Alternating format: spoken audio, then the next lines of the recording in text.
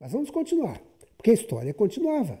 O anjo estava contando isso para Daniel lá na época dele, no século 5 antes de Cristo, dizendo o que ocorreria no futuro. E nós hoje em dia podemos preencher a história, essas lacunas que o anjo não colocou o nome dos personagens, só colocou os eventos, e nós podemos preencher. Por exemplo, no verso 21 diz assim: Depois se levantará em seu lugar um homem vil, no reino do norte, o qual não tinha dado dignidade real. Ou seja, era um sujeito vil, um sujeito que não tinha poder real. Mas ele virá caladamente e tomará o reino com intrigas. Deixa eu dizer uma coisa para vocês. Em Daniel 11, as pessoas que não estão do lado de Deus são os hostis, são os vis. Os que estão do lado de Deus são os entendidos, são os sábios.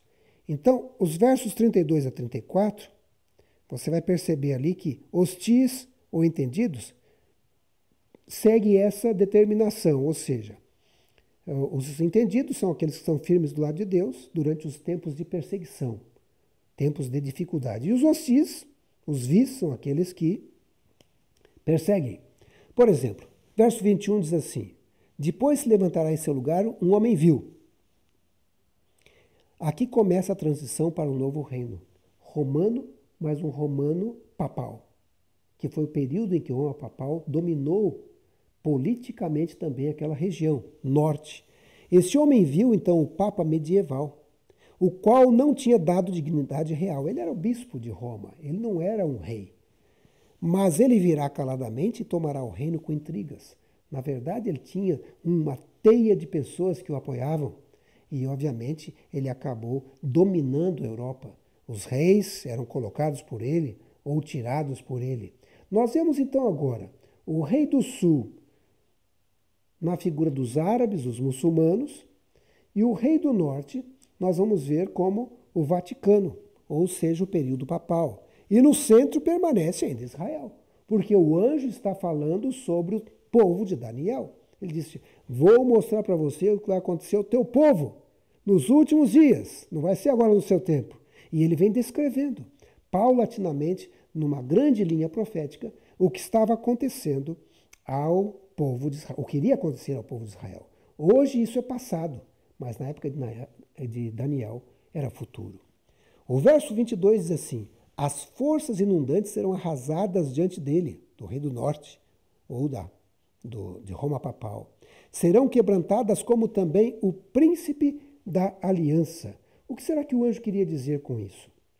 Olha, em Apocalipse, quando você tem forças inundantes, se refere a águas, ele quer dizer povos. E dá a impressão que é isso, que não importava a quantidade de pessoas, seria arrasadas, seria quebrantadas.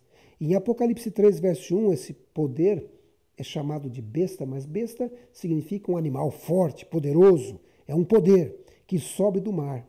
E Jesus é perseguido quando se persegue aos seus servos fiéis. Então, nesse sentido, quando esse poder começa a perseguir os filhos, servos fiéis de Jesus, ele também persegue o príncipe da aliança, ou persegue ao próprio Jesus. O verso 23 diz assim: Apesar da aliança com ele, usará engano, subirá e se tornará forte com pouca gente. Na nova versão internacional diz que ele ficará forte com um pequeno grupo, chegará ao poder. E a Bíblia em linguagem de hoje, a respeito desse verso, diz: ele se tornará cada vez mais poderoso. E foi o que aconteceu com esse período, período de Roma papal.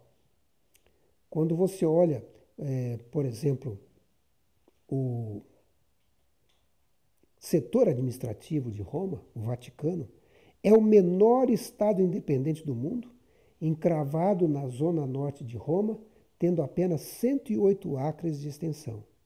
E, no entanto, influencia o mundo todo. E naquela época, influenciava e praticamente dominava aquela região europeia e também procurou também envolver também o rei, o reino do sul. Veja o que diz o verso 24. Virá também caladamente aos lugares mais férteis da província, fará o que nunca fizeram seus pais, nem os pais de seus pais. Repartirá com eles a presa, os despojos e os bens, maquinará os seus projetos contra as fortalezas, mas, por certo tempo, serão arrasadas diante dele. Serão quebrantadas, como também o príncipe da aliança. Esses versos mostram o crescimento do papado medieval, mostra que alguns tratados são estabelecidos baseados no engano, saqueia os ricos e enriquece a igreja, percebe os cristãos, mas fala que isso ocorreria por um certo tempo. Em Daniel 7,25, Apocalipse 12, 6 e o verso 14, também falo desse, desse período de perseguição. Inclusive o tempo seria um período que de 1260 anos ocorreria do ano 538 ao ano 1798, que foi o período em que Roma papal teve mais poder. Nós vemos então Roma papal como rei do norte e nesse sentido, Daniel 11, 25 a 30 se refere ao período das cruzadas. Eles antecipam a era das cruzadas que iniciaram na época do Papa Urbano II. O objetivo era arrancar a Terra Santa dos muçulmanos, deixando muçulmanos o Rei do Sul, né? deixando-as livres para os peregrinos cristãos. E nós vemos agora não a igreja e o Papa atacando, mas através dos cavaleiros templários, é, esse exército ataca o Reino do Sul. Muita gente morreu nessa batalha. E o verso 25, por exemplo, diz assim: Suscitará a sua força, ou seja, o rei do norte, Roma Papal, e seu ânimo contra o rei do sul, a região dos muçulmanos, à frente do grande exército. O rei do sul sairá à batalha com grande e muito poderoso exército, mas não prevalecerá porque maquinarão projetos contra ele. Na verdade, essa primeira cruzada não foi uma cruzada assim tão bem sucedida. Muitas pessoas morreram no meio do caminho, mas obviamente pessoas é, houve uma tentativa.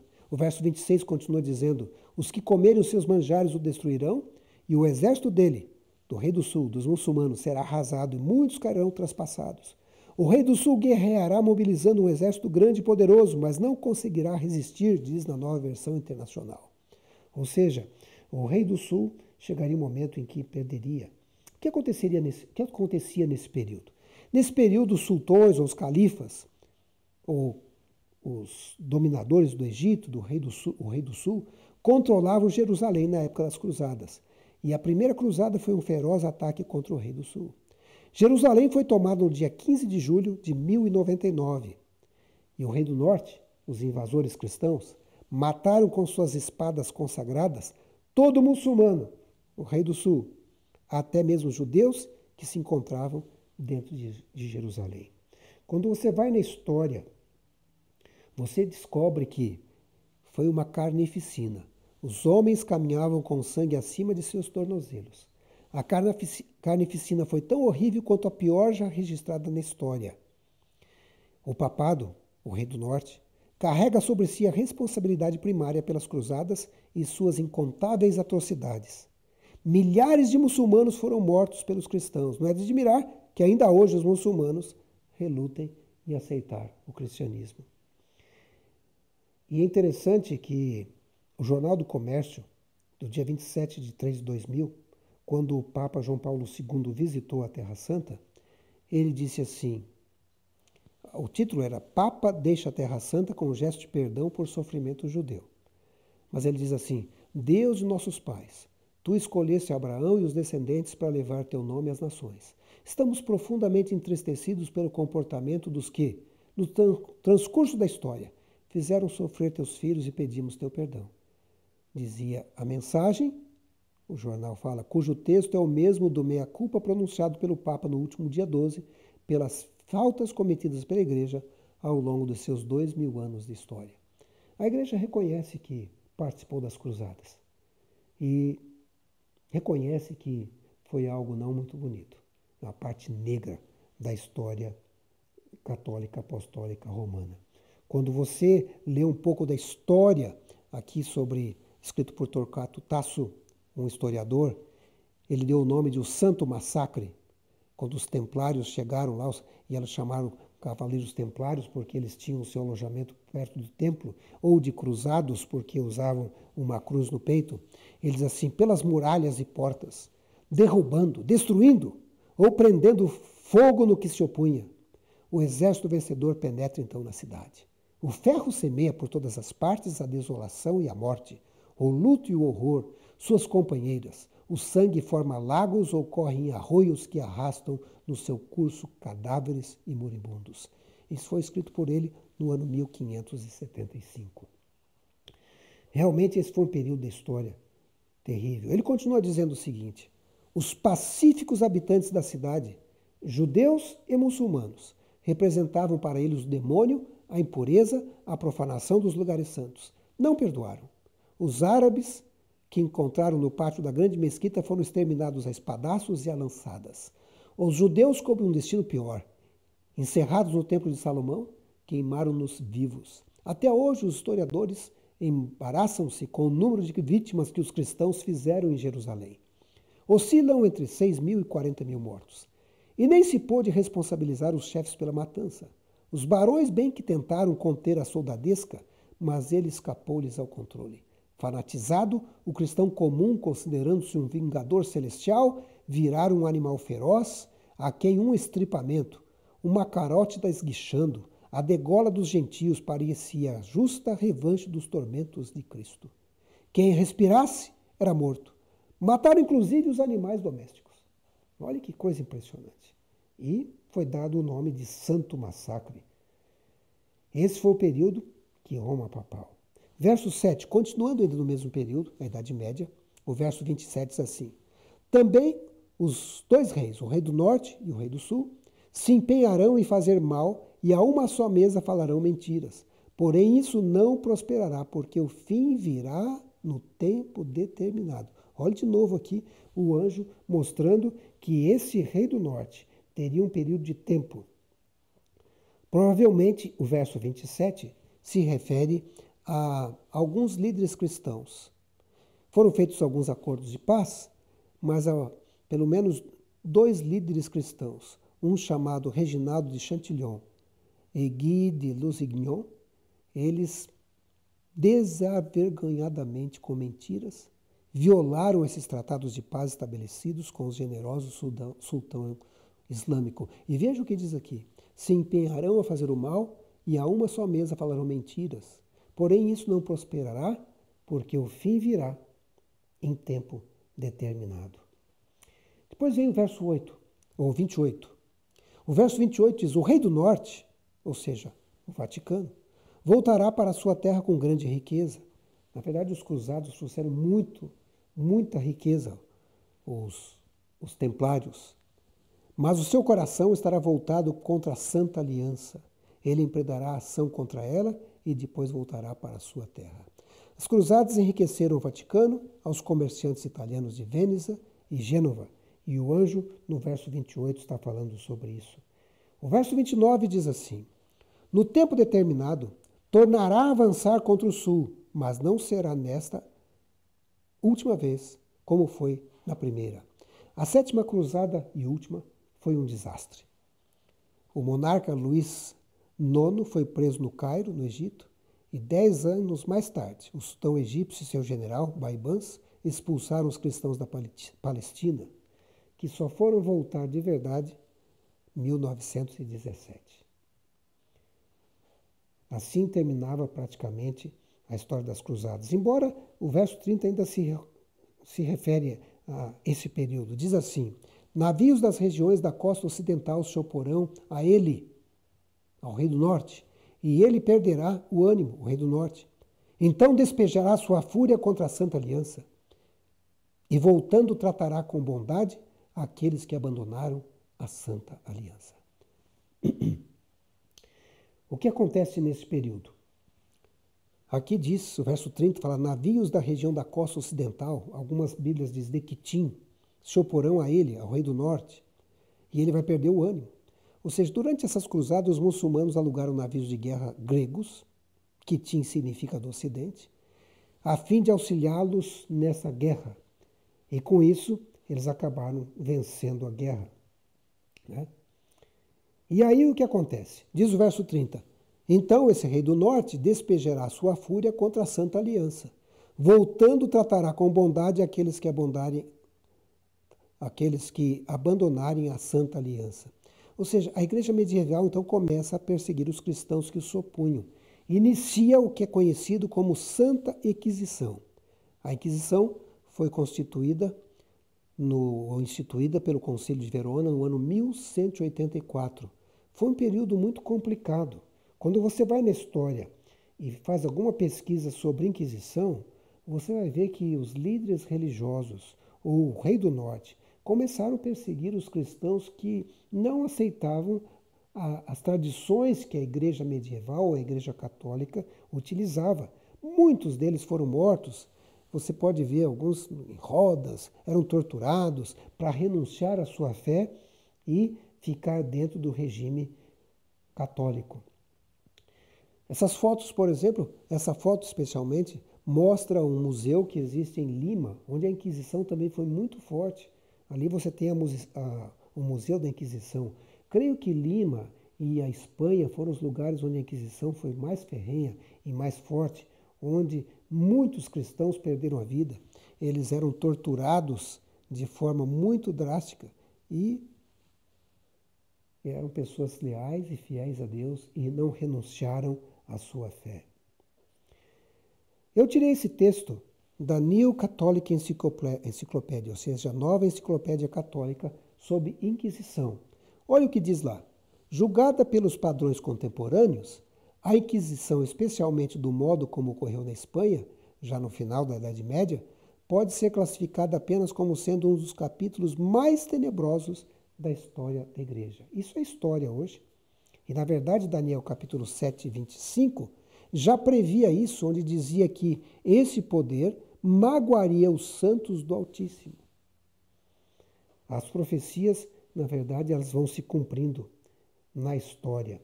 O verso 31 diz assim: Dele, do rei do norte, sairão forças que profanarão o santuário, a fortaleza nossa, e tirarão o sacrifício diário, estabelecendo a abominação desoladora. O que acontece? Acontece o seguinte: Daniel capítulo 7, 25 fala desse episódio. Lá ele diz assim: ele falará contra o Altíssimo, oprimirá os seus santos, tentará mudar os tempos e as leis. Os santos serão entregues nas mãos dele por um tempo, tempos e meio tempo, ou metade de um tempo. Durante esse período, como Daniel disse, cuidaria de mudar o tempo, os tempos e a lei. E foi isso que realmente aconteceu. Deixa eu mostrar para vocês, por exemplo, essa mudança que foi feita na lei de Deus.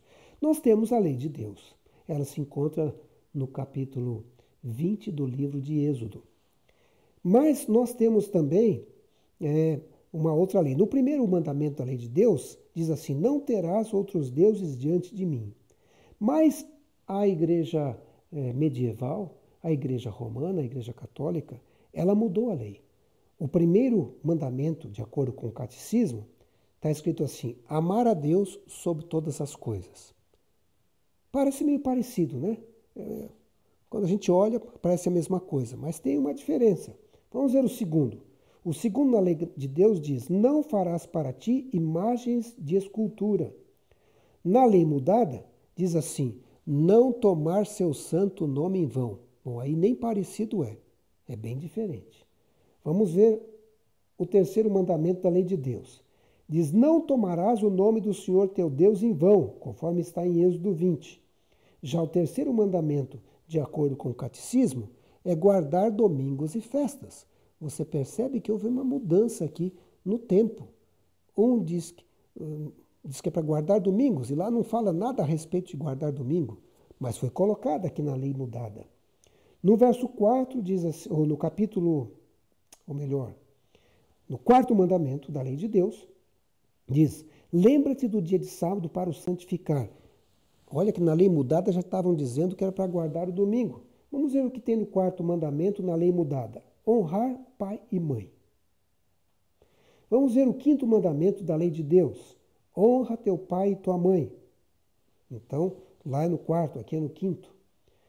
Quinto mandamento da lei mudada: não matar.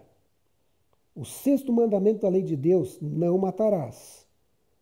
O sexto mandamento da lei mudada, não pecar contra a castidade. O sétimo mandamento da lei de Deus, não adulterarás. O sétimo mandamento da lei mudada, não furtar. O oitavo mandamento da lei de Deus, não furtarás. O oitavo mandamento da lei mudada, não levantar falso testemunho. O nono mandamento da lei de Deus, não dirás falso testemunho contra o teu próximo. O nono mandamento da lei mudada, não desejar a mulher do próximo.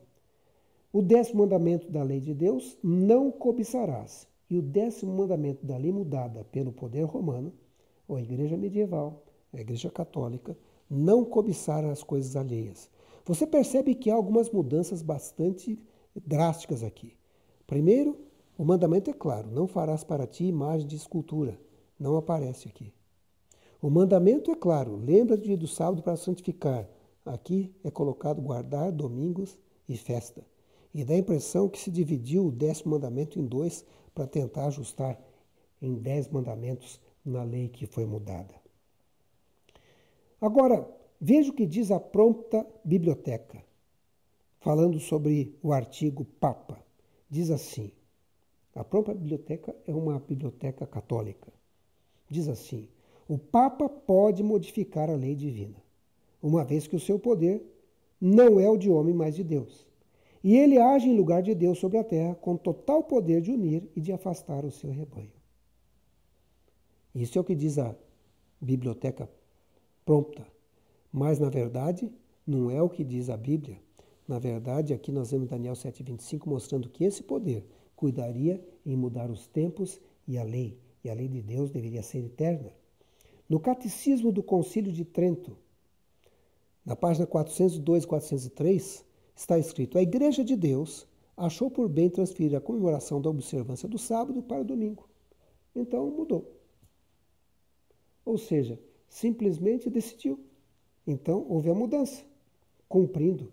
Quando você vai no Casticismo da Doutrina Católica para Conversos de 1957, aparece ali uma pergunta: qual é o dia do sábado? A resposta: o sábado é o sétimo dia. Aparece uma outra pergunta: por que nós observamos o domingo em lugar do sábado?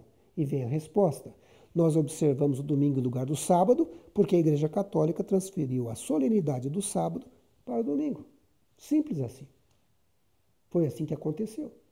Não existe nenhuma mecânica teológica, ou não existe é, textos bíblicos que suportam isso. Também houve uma série de mudanças eu não teria nem espaço para colocar todas aqui, mas coloquei algumas que eu acho muito interessantes.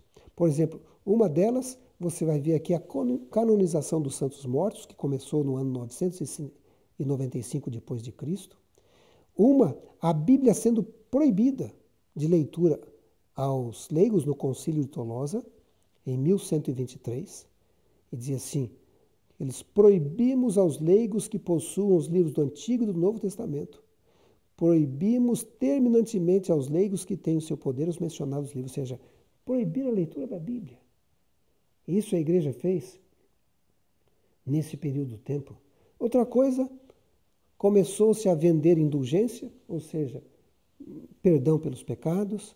Começou a haver a confissão de pecados a um sacerdote e não a, a próprio Jesus, ou a próprio Deus. E, finalmente, proibiu-se completamente a leitura da Bíblia Colocaram-se alguns livros a mais na Bíblia, são os livros apócrifos, no ano 1546. E também foi colocada a tradição como autoridade igual à da Bíblia. Por isso, muitas das tradições que a Igreja Católica tem são consideradas como válidas. Daniel 11, no verso 31, diz: Dele, do Rei do Norte, sairão forças que profanarão o santuário, a fortaleza nossa, tirarão o sacrifício diário estabelecendo abominação desoladora. Mervyn Maxwell, um professor sobre Daniel e Apocalipse, doutor em Daniel e Apocalipse, ele diz assim: muito mais apropriado é considerá-la como este vasto sistema de crenças e práticas que durante mais de mil anos desviou as pessoas do ministério sacerdotal de Jesus, privando-as do acesso ao príncipe da aliança, ou seja, mudanças bíblicas. Né? Daniel 11, 31, onde diz que sairão forças que profanarão o santuário, a gente percebe que a mesma coisa aparece em Daniel 7, verso 25, onde ele proferiria palavras contra o Altíssimo, magoaria os santos do Altíssimo, cuidaria mudar os tempos e a lei. E o apóstolo Paulo, em 2 Tessalonicenses 2, 3 e 4, de, chama isso de apostasia, homem da iniquidade, filho da perdição, o qual se levanta contra tudo que se chama Deus ou objeto de culto, a ponto de assentar-se no santuário de Deus, ostentando-se como se fosse o próprio Deus. Será que isso realmente acontece? O verso 32 diz assim: Aos violadores da aliança ele com lisonja perverterá, mas o povo que conhece o seu Deus se tornará forte e ativo. E o verso 33 diz: Os sábios entre o povo ensinarão a muitos, todavia cairão pela espada, pelo fogo, pelo cativeiro, pelo roubo, por algum tempo, ou seja, aquele período de 1260 anos até 1798. Os sábios que cairão pela espada, pelo fogo, foi o heróico povo de Deus representado pelos valdenses, pelos lolardos, pelos hussitas, pelos luteranos, pelos anabatistas, pelos huguenotes, que preferiram morrer afogados, enforcados, queimados na estaca, ou ser torturados ou aprisionados a abdicar a sua fé. É o que diz Marvin Maxwell. E realmente eles caíram pela espada, pelo fogo, pelo cativeiro. Verso 34 e 35. Ao caírem, eles serão ajudados com pequeno socorro, mas muitos se ajuntarão a eles com lisonjas. Alguns dos sábios cairão para serem provados, purificados, embranquecidos até o tempo do fim, porque se dará ainda no tempo determinado, aquele período de 1260 anos até 1798. O verso 36 diz assim: Este rei, o papado, o rei do norte, fará segundo a sua vontade se levantará e se engrandecerá sobre todo Deus. Contra o Deus dos deuses falará coisas incríveis e será próspero, até que se cumpra a indignação, esse período de tempo, porque aquilo que está determinado será feito. Olhe, esse texto, esse tempo, Daniel fala a respeito de tempos, né? Os santos serão entregues por um ano, dois anos e metade de um ano, 1260 dias. E nós vemos que em profecia, um dia significa um ano. Não aparece essa profecia em Daniel 11, mas aparece em outros, em outros textos, um dia igual a um ano. Então nós temos aí 1260 dias, 1260 anos. É uma profecia de Daniel capítulo 7 e de Apocalipse capítulo 12. Né? Se você ler, por exemplo, o capítulo 12 de Apocalipse, versos 1 a 6, aparece aqui um período em que a igreja, a mulher, foge para o deserto, ou seja, para um lugar, fica escondida durante um período de 1260 dias, ou seja, 1260 anos. E no capítulo 12, verso 13 a 14, mostra que o dragão, Satanás, persegue a mulher, persegue a igreja, e ela foge para um lugar deserto por um período de tempo, tempos e metade de um tempo, ou seja, 1260 anos, três anos e meio. Ou seja, em 538, o bispo de Roma é nomeado como líder de todas as igrejas pelo imperador Justiniano. Então, se ele foi nomeado no ano 538, 1260 anos depois ele tinha que deixar o poder. E foi justamente o que aconteceu. No final desse período, no ano de 1798, o general de Napoleão, general Berthier, ele invadiu o Vaticano e levou o Papa preso. A revista Isto É, número 1837, do dia 22 de dezembro de 2004, falando sobre esse episódio vivido pelo Papa Pio VI, assim descreveu: Quando as tropas de Napoleão Bonaparte invadiram os estados pontifícios em 1798, o Papa foi preso em Siena e terminou seus dias na prisão ou seja, cumpriu-se assim a profecia. Na verdade, é, após o Papa ser preso, ele ficou mais um ano recluso e acabou morrendo em 1799. Apocalipse 13, verso 13 menciona esse episódio, dizendo: Então vi uma de suas cabeças como golpeada de morte. Ou seja, parecia que o papado deixaria de existir, mas ele se recuperou. Mervyn Maxwell, ele diz: nenhum papa pretendeu colocar-se acima de Deus. Mas quando pretenderam assumir o direito de matar as pessoas que Deus amava e de modificar os dez mandamentos que Deus otorgou, não é verdade que eles se exaltaram acima de Deus?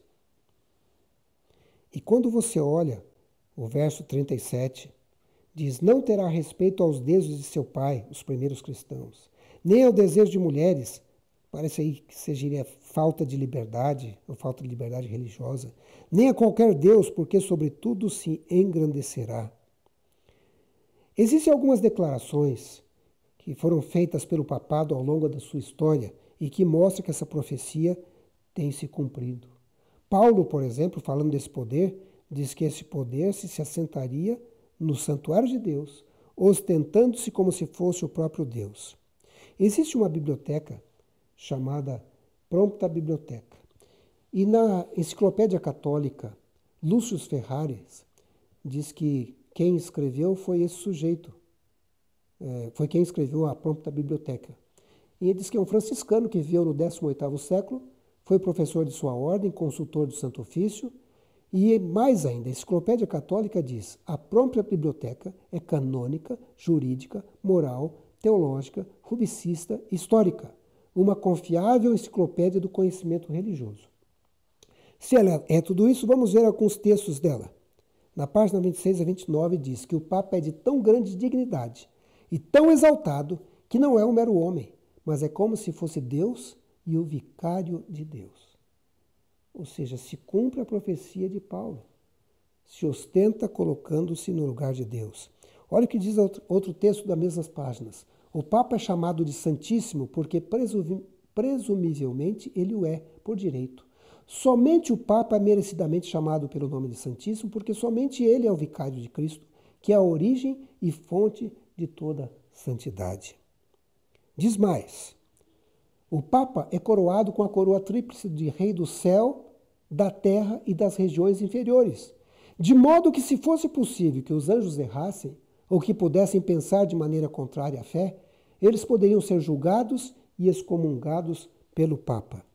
Quando você vai na história, você percebe que os papas eram coroados com essa coroa tríplice, com três níveis, indicando que ele era o rei do céu, rei da terra e rei das regiões inferiores, ou rei do inferno. O Bento XVI eh, não foi coroado, mas na sua moeda e no seu brasão aparece a coroa tríplice e ele também tinha a sua coroa.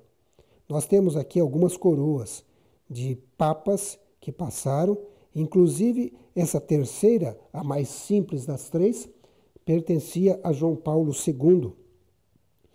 Então, ele também era um papa coroado com a coroa tríplice de Rei do Céu, da Terra e do, das regiões inferiores.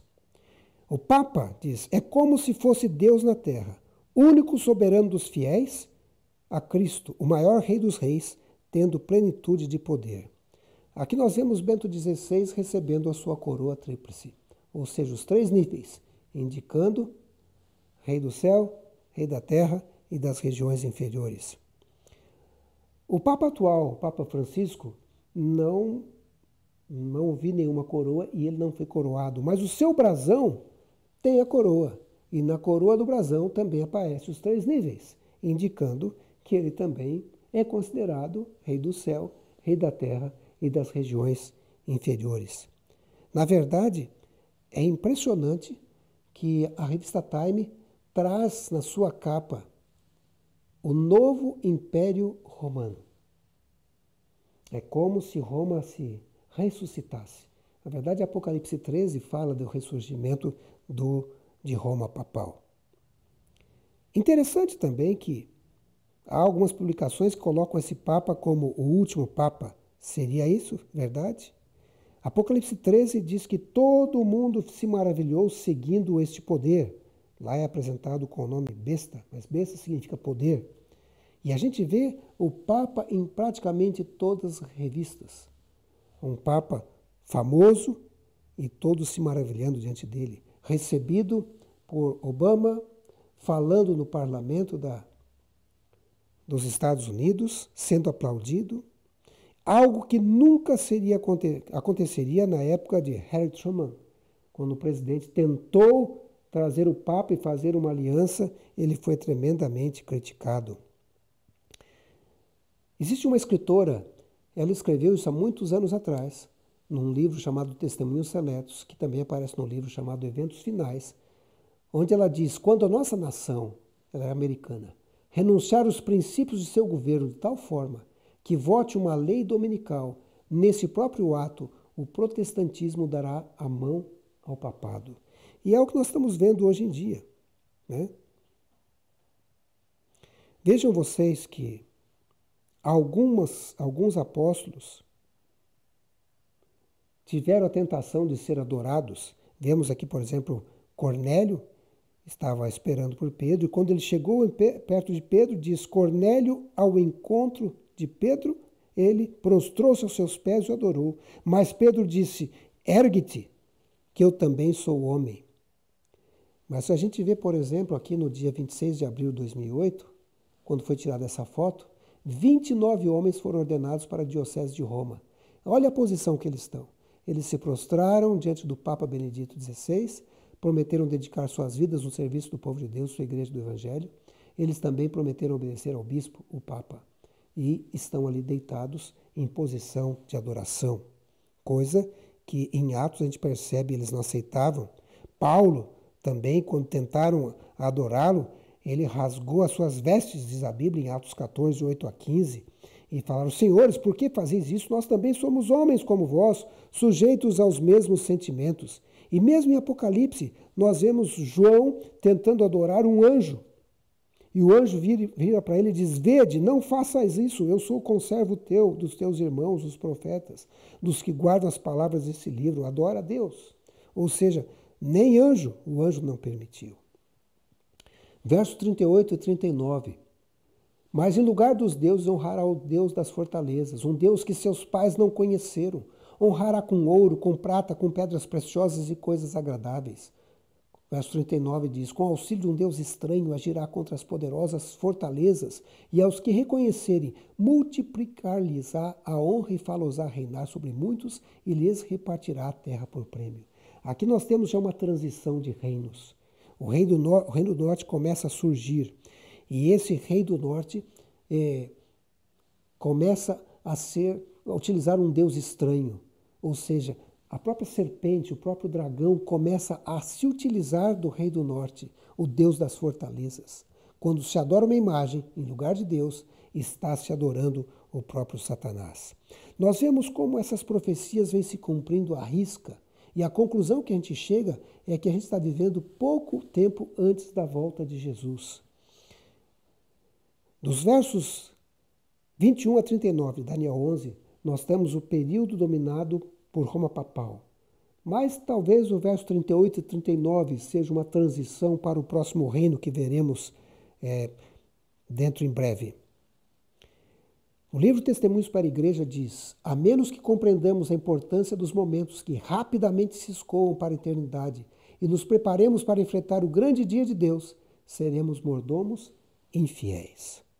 O vigia deve saber que horas são da noite.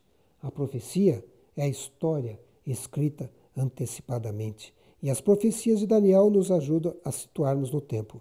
Nós temos então esses reinos, começando lá atrás, como é do Pérsia, com a Grécia, com Roma, Vaticano, e agora qual seria o novo rei do norte a partir do verso 40? O verso 40 diz assim: No tempo do fim, o rei do sul se envolverá em combate e o rei do norte o atacará com carros, cavaleiros e uma grande frota de navios. Ele invadirá muitos países e avançará por eles como uma inundação. Nós temos Israel e agora temos que descobrir quem é o rei do norte, agora no tempo do fim, que é descrito ali no verso 40, e temos que descobrir quem é o rei do sul, que é descrito ali do verso 40 até o verso 45.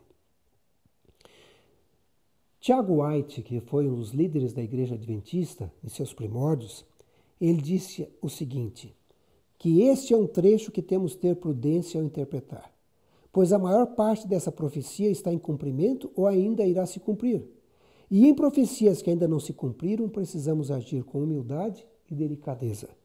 Portanto, não quer dizer que essa é uma profecia, o que eu vou dizer aqui pode não se cumprir exatamente como estou dizendo, mas provavelmente está se cumprindo dessa forma. Em Apocalipse 13 aparecem dois poderes, duas bestas.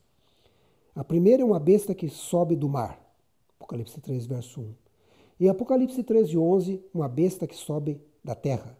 São dois poderes. Besta significa poder. Um poder que sobe do mar e um poder que sobe da terra. O poder que sobe do mar seria Roma, o poder romano papal.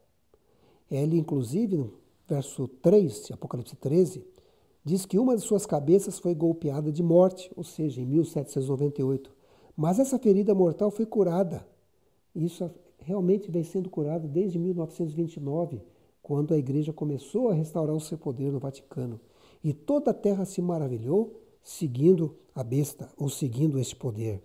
Também houve uma aliança entre os Estados Unidos e o Vaticano, em que a revista Time chamou de Santa Aliança para uma nova ordem mundial.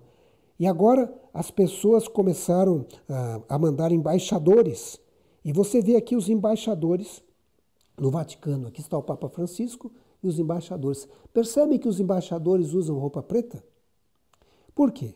Dizem que no sistema ocultista a cor branca tem primazia sobre o preto.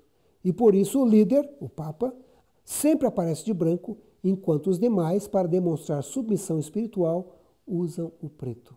E você percebe que praticamente todos os embaixadores usam a cor escura, a cor preta, para se apresentar diante do Papa. Quando você olha os presidentes americanos e os seus encontros com os papas, eles se apresentavam também de preto e o Papa de branco. Veja aí, Papa João XXIII, aqui nós temos o Kennedy de preto, inclusive a esposa também de preto. Nós temos aqui um outro presidente também de preto. Aqui nós temos Nixon e sua esposa também de preto. Aqui nós temos Carter também de preto. Nixon também de preto. É, temos aqui de cor escura também Clinton. E finalmente George Bush também usando a cor preta para demonstrar submissão espiritual. E quando a gente olha o Obama e a sua esposa, eles também utilizando a roupa escura para simbolizar submissão ao papado, ao poder papal. É impressionante como a profecia vem se cumprindo à risca. Quando eu olho outros presidentes, acontece a mesma coisa. Eu vou apresentar alguns deles, são faces bastante conhecidas, e eles sempre se apresentando na cor escura no seu encontro com o papado. Até o, o bruxo, né, conhecido aqui do Brasil, também aparecendo na cor escura. Fernando Henrique foi presidente do Brasil, inclusive a, a própria rainha da Inglaterra também se apresentando na cor preta. Quando você olha o presidente Lula, também utilizando a cor escura, e aqui Dilma Rousseff também se apresentando na cor escura.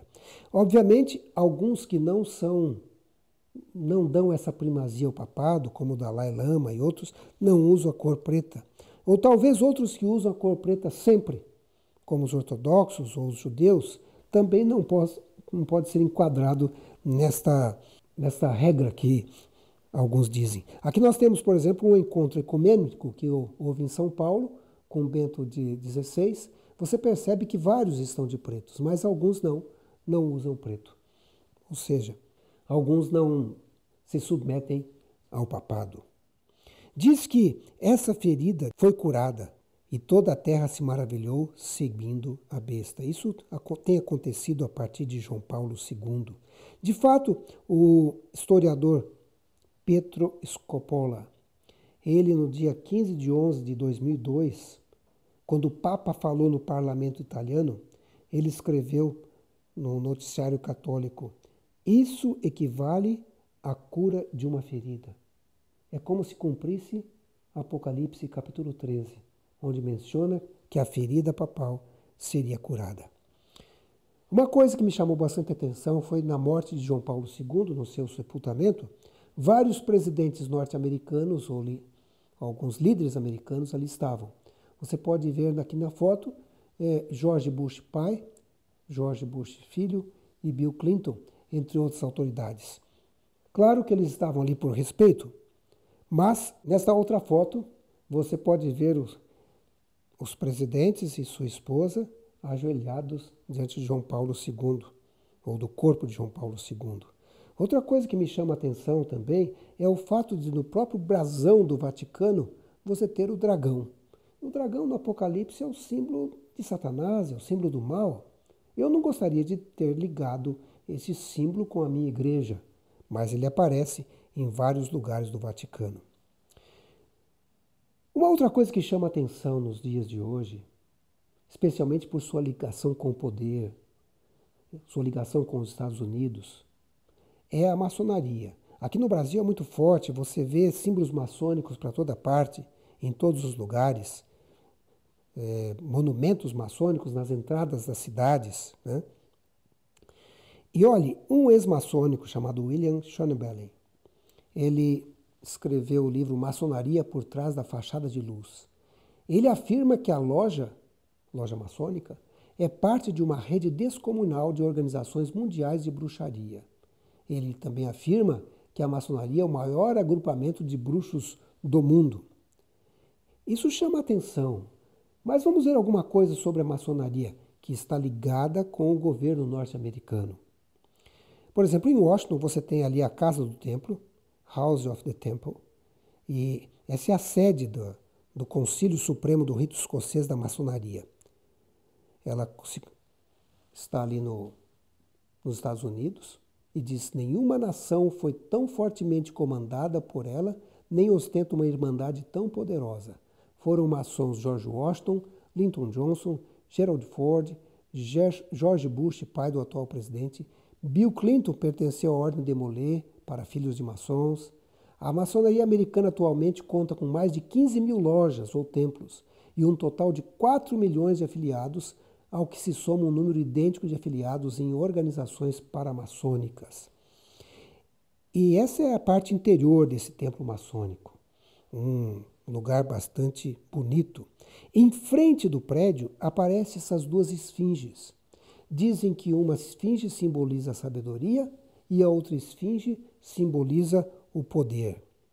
Interessante que na esfinge que simboliza a sabedoria aparece a serpente na cabeça da esfinge. E eu me lembro o texto da Bíblia quando a serpente disse à mulher: É certo que não morrereis, porque Deus sabe que no dia que dele comerdes, se vos abrirão os olhos, e como Deus sereis conhecedores do bem e do mal, ou seja, serão sábios. Me chamou a atenção isso aí. Depois nós temos a outra esfinge, aqui simboliza o poder, ela tem a serpente no pescoço. E me lembrou um outro texto da Bíblia. Esse texto está em Lucas 4, verso 1, quando o diabo levou Jesus lá para o, um pináculo do, do templo e disse assim: Dar-te-ei toda essa autoridade e glória desses reinos, vou te dar poder, porque ela me foi entregue e eu dou a quem quiser. Então, me lembra muito algo não muito claro. Né? Se a maçonaria fosse uma bancada política no Brasil, seria grande. Eu tirei isso aí de uma página maçônica. Naquela época em que havia isso, dizia se, o part... se fosse um partido, seria o quinto maior do Senado e o quarto da Câmara. Você tinha naquele país. São maçônicos declarados porque a maçonaria é uma, uma sociedade discreta. Já foi secreta, hoje pode ser considerada discreta. Então, a pessoa nem sempre se declara maçônico. Mas dentro do Superior, Superior Tribunal de Justiça de Brasília, você vai encontrar o símbolo maçônico, tendo em vista que vários dos juízes pertencem à sociedade da maçonaria. Aí está, por exemplo, Lula falando, e ali está o símbolo maçônico dentro do Superior Tribunal. Na Suprema Corte de Israel também aparece o símbolo maçônico no topo, no telhado. Se você for para alguns prédios, por exemplo, a Prefeitura de Los Angeles, tem ali a pirâmide escalonada que aparece no, no Egito. Se você vai no Lincoln Memorial, se apresenta como paternon dos deuses gregos. Se você vê a estátua de Lincoln simbolizando na posição de uma da carta o imperador do tarô, O Jefferson Memorial foi copiado do panteão romano dos deuses. O obelisco em Washington, um símbolo fálico, até hoje presente em muitas cidades. Se você vai no George Washington Masonic Memorial, você faz uma entrada ali dentro desse lugar, ali tem a estátua do George Washington, que era maçônico, e você diz, mas isso não tem nada a ver com religião. Mas dentro desse lugar você encontra exatamente isso aí. E o que, que é isso? Aqui nós temos o, a arca do concerto, o candelabro, os pães da preposição, exatamente como ficavam no santuário de Deus. Tem a ver com adoração e está dentro do George Washington Masonic Memorial. Na verdade, aparece na nota de um dólar, símbolos maçônicos, e tem essa estátua de Washington nessa posição estranha. Na verdade, é a posição do Baphomet, que alguns creem que seria um símbolo adorado pelos maçônicos. Né? O fato é que uma escritora norte-americana chamada Ellen White, ela já dizia a respeito desse poder. Ela dizia: um poder de baixo está operando para desenvolver as últimas grandes cenas do drama. Satanás apresentando-se como Cristo e operando com todo o engano da injustiça naqueles que estão se unindo em sociedades secretas. Isso não é algo para alguém do bem. Quando você vê, por exemplo, uh, o rito escocês, o rito York, nós temos graus. E as pessoas, quando entram, não sabem muita coisa a respeito da maçonaria. Vários nomes para os níveis da maçonaria são nomes religiosos, ou pelo menos que aparecem na Bíblia, tipo chefe do tabernáculo, príncipe do tabernáculo, cavaleiro da serpente de bronze, cavaleiro comandante do templo. Ou seja, é, é uma mistura muito grande. Albert Pike, que é considerado o Platão da maçonaria, e o título dele é grande, ele era o soberano, grande comendador do Supremo Conselho dos Grandes Soberanos Inspetores Gerais do Grau 33. Ele escreveu um livro chamado Morals and Dogma. Nesse livro, um livro esotérico, era para ser entregue apenas às pessoas da maçonaria. E nesse livro nós temos algumas respostas para perguntas. Maçonaria é uma religião? Quando você lê a Morals, Morals and Dogma, escrito por Albert Pike, ele diz: toda loja maçônica é um templo religioso e seus ensinos são instruções religiosas. É a religião universal, eterna e imutável. A maçonaria não propaga nenhum credo, exceto o seu próprio, mas simples e sublime, aquela religião, religião universal ensinada pela natureza e a razão, ou seja, panteísmo e iluminismo. E Albert McKee, numa enciclopédia maçônica, ele diz: aquele rito à beira do véu pois lá se declara que a maçonaria é uma forma de adoração. Forma de adoração a algum Deus? Então, quem é o Deus da maçonaria? Aparece um G dentro do símbolo da maçonaria, que alguns dizem é Gadu, que é o grande arquiteto do universo. Isso no início da maçonaria eles dizem isso. Depois alguém disse assim, não, significa God, Deus. Ou geometria, porque os maçônicos são construtores, isso no segundo grau. Mas finalmente, mais à frente, ele vai saber que é uma tríade, Jabulon. Isso no real arco. O Logos divino, ou o Verbo, já simboliza ou representa o nome Javé, ou Jeová. Bu representa o nome Baal, ou Bel, deus babilônico. E On representa o nome do deus Sol egípcio, o deus do faraó. Então, na verdade, é uma tríade maligna. Não é uma tríade do bem, tríade do bem. No 17 grau, é dito que seria Abaddon, a significação da letra G. Mas Apocalipse 9, 11 diz que Abaddon é o anjo do abismo. Diz lá, tinham sobre si como rei o anjo do abismo, cujo nome em hebraico é Abaddon e em grego Apolion. Ou seja, como é que pode ser o anjo do abismo? Porque o anjo do abismo é Satanás. Mas Albert Pike, em Morals and Dogma, na página 321, ele mesmo diz assim: Lúcifer, portador de luz. Estranho e misterioso nome para ser dado ao espírito das trevas. Lúcifer, filho da manhã.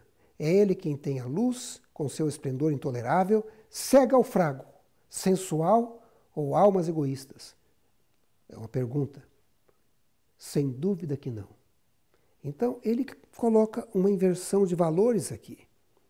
A Helena Petrovna, outra líder maçônica, ela diz no seu livro Doutrina Secreta: Lúcifer representa vida, opinião, progresso, civilização, liberdade, independência. Lúcifer é o Logos, a serpente, o Salvador.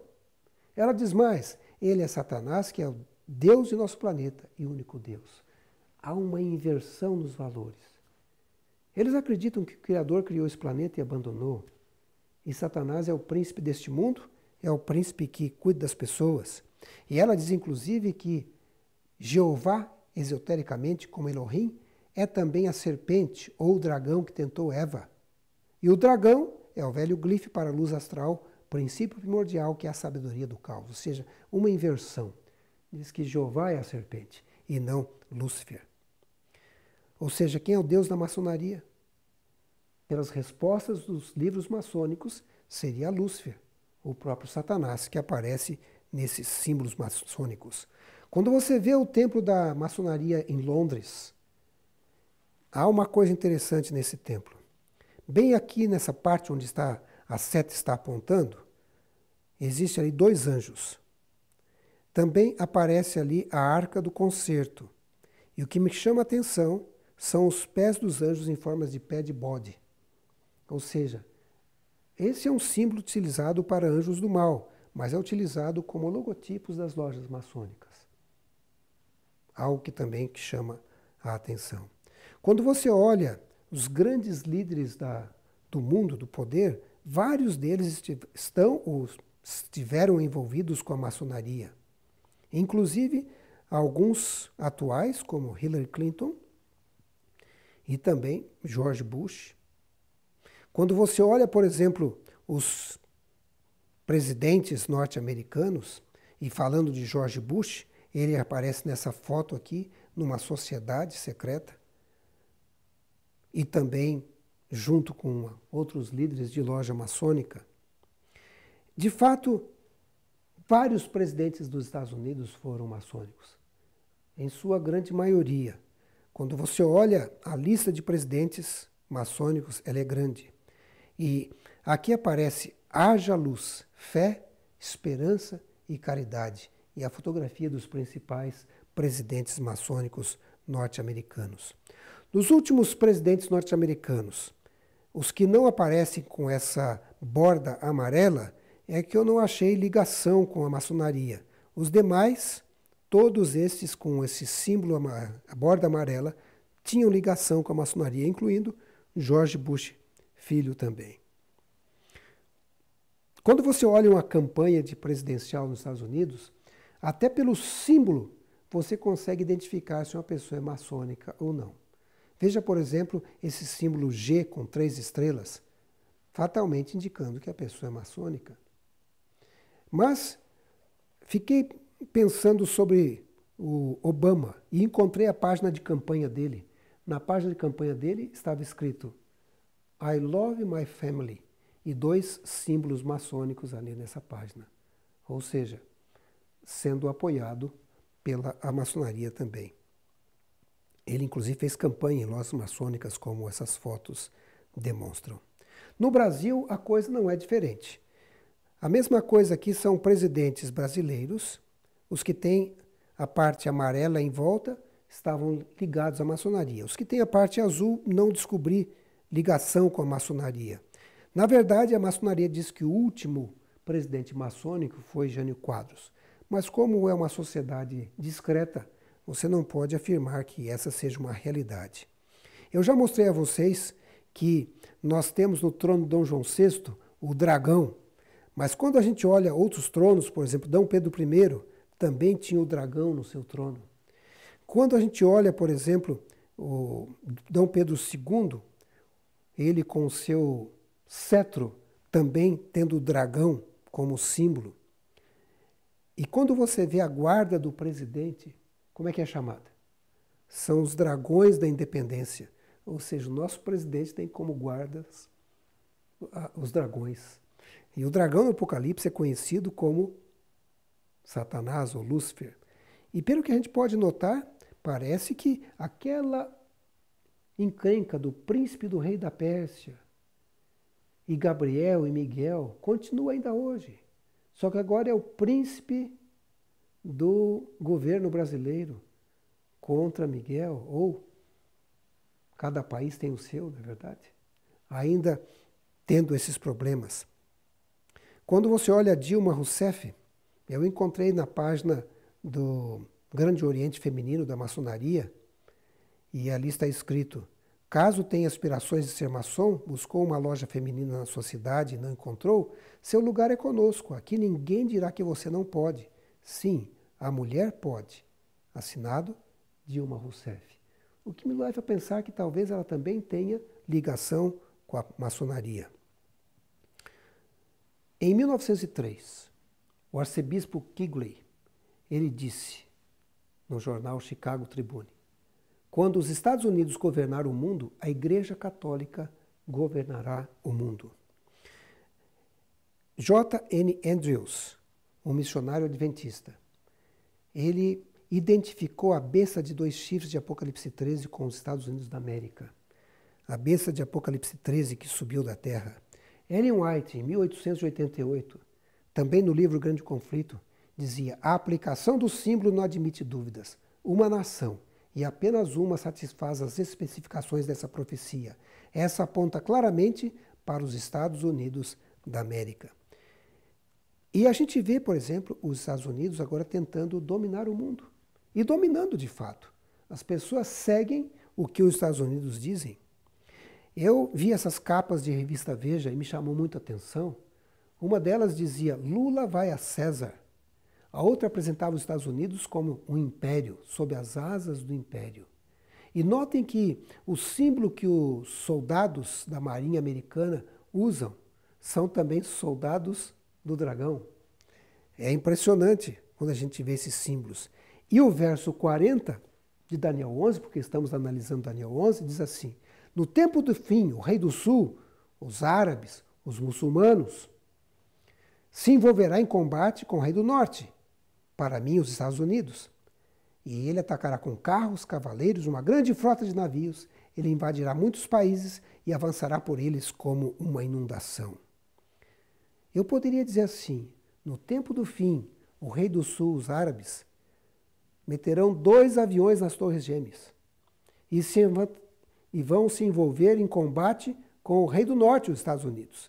E os Estados Unidos vai contra-atacar com carros, cavaleiros, uma grande frota de navios. Vai invadir muitos países, avançará por eles como uma inundação. Isso foi o que aconteceu.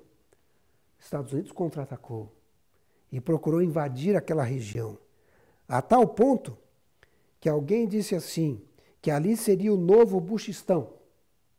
A Armênia, Jordânia, Arábia Saudita, Turquia, Líbano, Azerbaijão, Irã, Síria, Oman, Kuwait, Turcomenistão, Uzbequistão, Afeganistão, entre outros países, porque os Estados Unidos parece que queria invadir esses países. Quando você olha onde existem bases norte-americanas, Dizem que existem mais de 50 bases nessa região do Oriente Médio, ou seja, invadiria como uma inundação. O verso 41 diz assim: Entrará também na terra gloriosa, Israel. Muitos sucumbirão, mas o seu poder escaparão esses Edom, Moabe, as primícias do filho de Amon. Amon. Ou seja, entrará também na terra gloriosa em Israel. Eles têm uma pequena base em Israel. Muito pequeno, é verdade. Mas a Bíblia diz que poderia entrar. E diz que Edom, Moab, as primícias do filho de Amon, eles escapariam. É a Jordânia. A Jordânia tem um acordo com os Estados Unidos. Recebem uma pensão anual e são fiéis aliados do governo norte-americano. Em 2006, quando estava em Israel, alguém perguntou para Condoleezza Rice se os Estados Unidos não interferir na guerra. E ela disse: ainda não chegou a hora de intervir. E eu fiquei pensando, então vai ter um momento, um momento em que eles vão interferir nesse lugar. O verso 41, aliás, o verso 41 pode fazer uma conexão com Mateus 24, verso 15 de Mateus, onde Jesus diz: Quando, pois, virdes o abominável da desolação, de que falou o profeta Daniel no lugar santo, quem lê entenda, É verdade que isso se referiu ao poder romano no passado, mas pode se referir também a um poder eh, nesse tempo. Versos 42 e 43 diz: Estenderá a mão também contra as terras, e a terra do Egito não escapará. Apoderar-se-á dos tesouros de ouro e de prata e de todas as coisas preciosas do Egito, os líbios e os etíopes o seguirão. Me chamou muito a atenção em 2015, quando Obama visitou dois países da África, a Etiópia e o Quênia. Mas o Quênia, quando você vê o mapa etíope do passado, era parte da Etiópia, pelo menos parte do Quênia. Por que, que ele visitou a Etiópia? E eu percebo que os etíopes estão nessa profecia no verso 43, ligados ao rei do norte, aos Estados Unidos da América do Norte. O verso 44, aliás, antes de chegar no verso 44, também olhe com atenção essa revolução árabe que tem ocorrido nos países árabes. O que vai acontecer? Será que tem alguma conexão com eh, esses trechos de Daniel, capítulo 11? Quando olhamos aqui na nossa linha do tempo novamente e colocamos os reinos de Daniel 11, incluindo o Vaticano, percebemos que o rei do norte atual seria o quê? Os Estados Unidos. E isso mostra que estamos vivendo muito próximo à volta de Jesus, porque as profecias vão se cumprindo à risca. Olhem esse texto do grande conflito na página 371. Conquanto ninguém saiba o dia ou a hora de sua vinda, somos instruídos quanto à sua proximidade, e isto nos é exigido saber. Demais, é-nos ensinado que desatender a advertência ou recusar saber a proximidade do advento do Salvador ser-nos-á tão fatal como foi aos que viveram nos dias de Noé não saber quando viria o dilúvio. Ou seja, nós somos instruídos para saber da proximidade da volta de Jesus, mesmo que não saibamos o dia ou a hora. Outro texto de testemunhos seletos, ou testemunhos para a igreja, volume 9, diz assim: O mundo está agitado pelo espírito da guerra. A profecia do capítulo 11, Daniel, atingiu quase o seu cumprimento completo. Logo se darão as cenas de perturbação das quais falam as profecias. Ou seja, o capítulo 11 de Daniel quase atingiu o seu cumprimento. Estamos aí no verso 41, né, de, do, de 45 versos, né?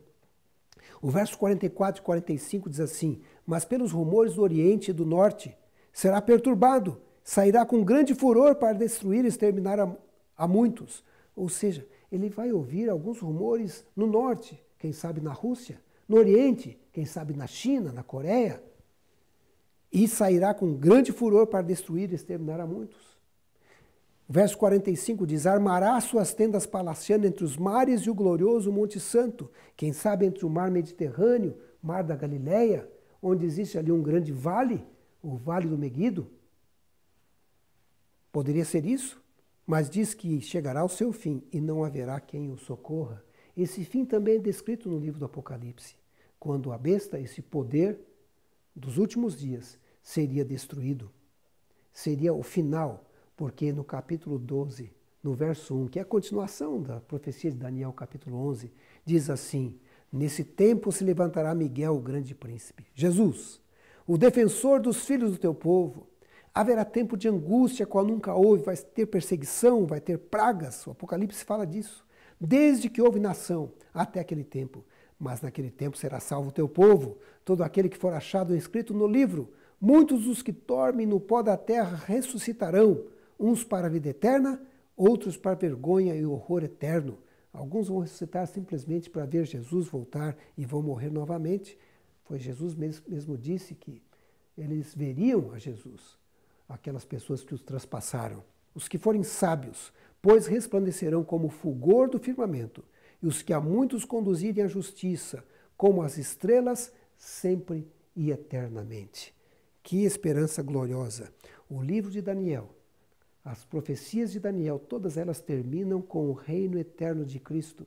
E com Daniel capítulo 10, 11 a 12 não seria diferente. O final é um final glorioso, é o reino eterno de Jesus um reino de glória.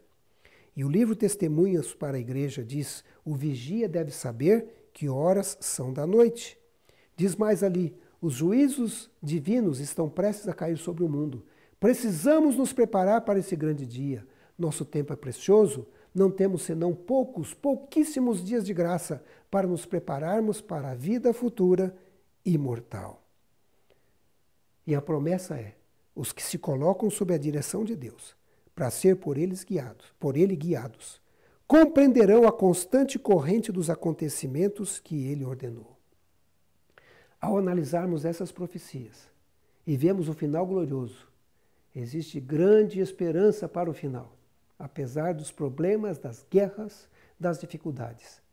O livro do Apocalipse mostra um final glorioso também, ali em Apocalipse capítulo 21, capítulo 22. E Daniel no capítulo 12 também mostra esse final glorioso no final da linha do tempo de Daniel capítulo 11. Que Deus abençoe você, que você possa fazer planos de fazer parte do povo de Deus, aqueles que estarão de pé olhando para Jesus e estarão salvos porque terão seus nomes escritos no livro da vida do Cordeiro.